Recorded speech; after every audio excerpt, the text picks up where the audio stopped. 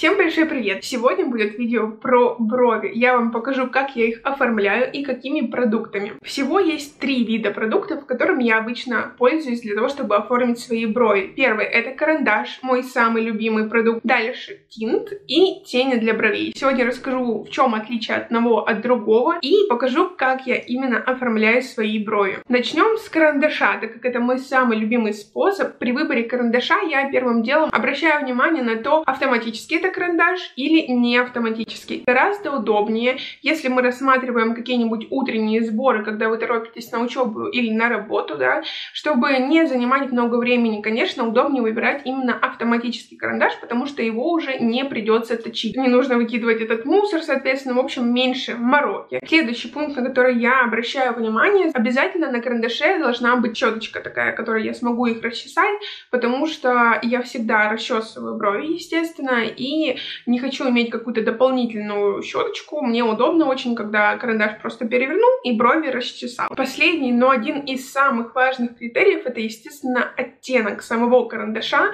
Лучше выбирать оттенок посветлее. Между темным и светлым лучше выбрать светлый. Конечно, если вы брюнетка, то не нужно брать оттенок для блондинок, но если взять слишком темный карандаш, вы можете как бы утяжелить свое лицо этим карандашом, этим оттенком темным бровей и придать себе лишнего возраста. Я думаю, это никому не нужно. Итак, начнем оформлять брови. Первым делом я, конечно же, расчесываю саму бровь.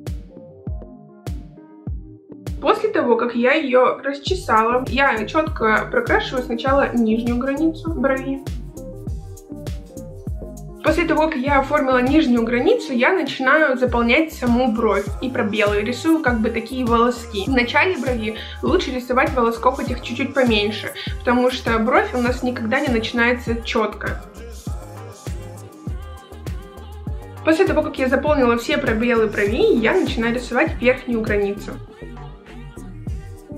Теперь для того, чтобы цвет максимально был равномерным в бровях, да, чтобы не было каких-то четких полосочек и линий, я хорошенько прочесываю бровь. И вычесываю лишний цвет, если вдруг переборщила. Если вы хотите сделать прям очень аккуратные, четко очерченные брови, то можно еще пройтись э, кисточкой скошенной с консилером под бровью, для того, чтобы был максимально такой четкий эффект.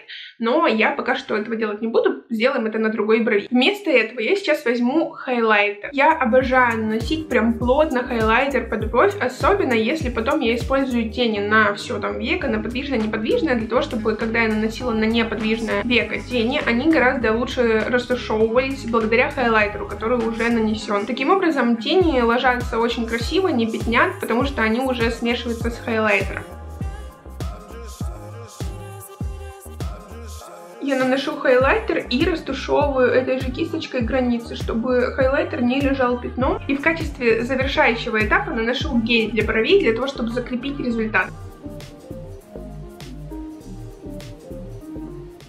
Все, на этом бровь готова. Я так оформляю брови ежедневно. Это мой любимый способ. Расскажу сейчас про преимущество карандаша. Вам не нужна никакая дополнительная кисточка, как в случае с тенями или э, с тинтом для бровей, потому что вы не сможете нанести его пальцем. То есть нужно брать дополнительное что-то для того, чтобы оформить брови. А есть сразу щеточка. Это очень удобно. Карандаш автоматический. У меня это карандаш от Vivienne Sabo. Я эти карандаши просто безумно обожаю. Обычно оформляю первым оттенком. Сейчас он просто закончился, поэтому поэтому у меня есть только два карандаша во втором оттенке, но когда я выберусь в какой-нибудь торговый центр, в магазин э, косметики, я обязательно куплю себе еще в первом оттенке, потому что это самый мой любимый карандаш, мне кажется, что он просто идеальный. Пару слов скажу про гель для бровей, который я использовала. Это гель от Art Visage, он мне тоже очень нравится, он безумно бюджетный, его надолго хватает, он хорошо укладывает брови, но не фиксирует их прямо намертво, то есть э, такой средний фиксации, мне кажется. Если у вас прям очень непослушные волосы на бровях, да, то, мне кажется, он вам не подойдет. Но в целом, если у вас волосы обычные, вам нужно просто задать направление для бровей, очень классный бюджетный гель. Я думаю, что пора приступать ко второй брови. Оформлять другую бровь мы начнем не с того, что просто ее расчешем, а расчешем бровь с мылом. Мыло для бровей и вообще что это такое, зачем это нужно, если у вас очень непослушные волосы. Гель их не возьмет и не уложит в нужном направлении. Тогда можно использовать использовать как раз мыло для бровей, потому что тут волосы любые лягут так, как вам нужно, они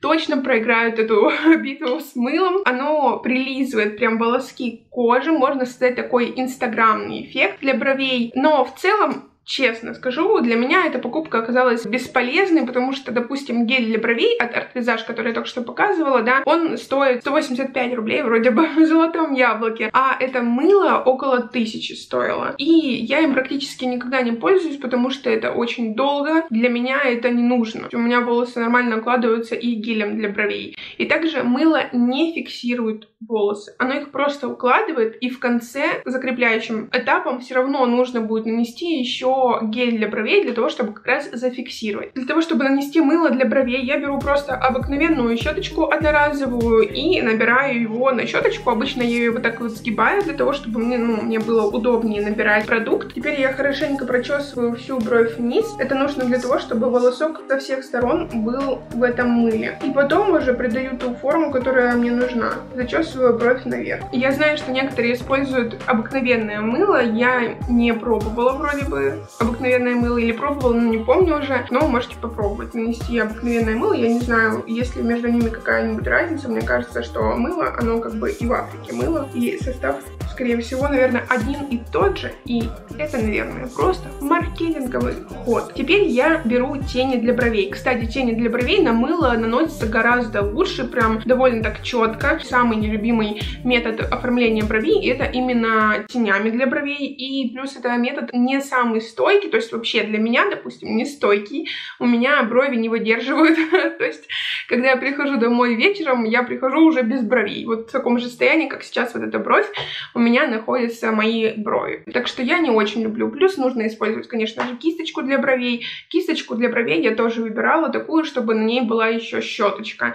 Я люблю прям, чтобы щеточка была и кисточка, хотя бы так, если не карандаш, щеточка. Оформляю брови я палеткой от L'Oreal. Не могу сказать, что она мне прям безумно нравится, потому что один из рефилов абсолютно, на мой взгляд, бесполезный, ничего не делает. Тут воск э, для бровей, он их как-то не укладывает, не придает особо цвет. В общем, я вообще не понимаю, зачем он тут нужен. Я пользуюсь только тенями обычно. Смысл оформления бровей тот же, поэтому увидимся уже, когда я сделаю вторую бровь. Вторая бровь у меня уже накрашена, но я хочу немножко подправить форму. Что я для этого делаю? Я беру консилер. У меня это от NARS. Он очень плотный, я люблю его использовать даже на каждый день, но, конечно, если у вас нет каких-то синячков там сильных или каких-то проблем серьезных с кожей, то можно взять и гораздо полегче по текстуре консилер. И теперь я беру кисточку скошенную, набираю консилер на кисточку, убираю там, где мне нужно. И самое важное, потом растушевать хорошенько границы, для того, чтобы четко этот консилер не было видно. Бровь так получается более четкой, более выраженной и аккуратной. Для того, чтобы закрепить полностью бровь и нанести финальный этап гель бровей, я возьму другой гель. Это гель от Stellary. Он мне безумно нравится. И вот он цементирует брови просто намертво. Ни одна волосинка не будет смотреть не в ту сторону, вот, в которую вы уложили, так и будет лежать. Поэтому я его просто обожаю. Мне нравится именно такой эффект. Я, правда, даже не помню уже, сколько он стоит, потому что покупала его очень давно. Тут очень большой такой флакон и хватает. Но я даже не помню, если честно, когда я его купила. Наверное, уже год ему точно есть. Ну вот и все, мои брови готовы.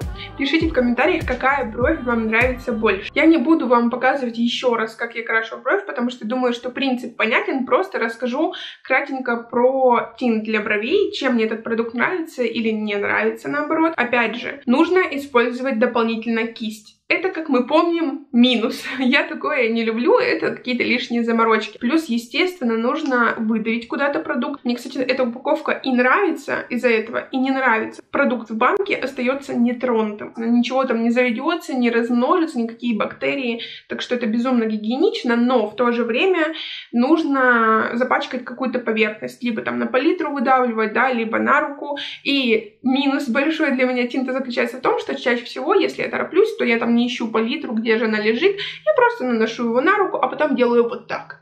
А тут у меня был тинт, И, конечно же, он измазал мне волосы, а волосы я вот так обратно положила, они измазали мне там рубашку, но это, конечно, уже лично моя претензия. Наверное, есть люди аккуратные в каком-то другом мире для меня параллельно, но если вы аккуратный человек, для вас, конечно, это не будет никакой проблемой. Теперь перейдем к плюсам. Это самый стойкий вариант оформления бровей. Тени для меня, вот я говорила, не да, плохо очень держится. Карандаш — это что-то среднее между тенями и тинтом. Он спокойно продержится весь день, но, допустим, если вы с бровями хотите лечь спать, ну, допустим, вы куда-то поехали и не хотите смывать брови, да, чтобы еще на следующий день они там у вас остались, бывают такие ситуации тоже, да, то карандаш уже, наверное, не спасет, и нужно будет воспользоваться именно тинтом для бровей. В этом его плюс. Также я редко его использую, потому что неправильно подобрала себе оттенок, у меня он слишком темный, я тогда еще не разбиралась, какой оттенок кому подходит, как его выбрать. Я просто спросила у консультанта в магазине, и она мне посоветовала еще на два оттенка темнее. Я посмотрела и подумала, это же просто черный. У меня русые волосы, и, слава богу, взяла чуть посветлее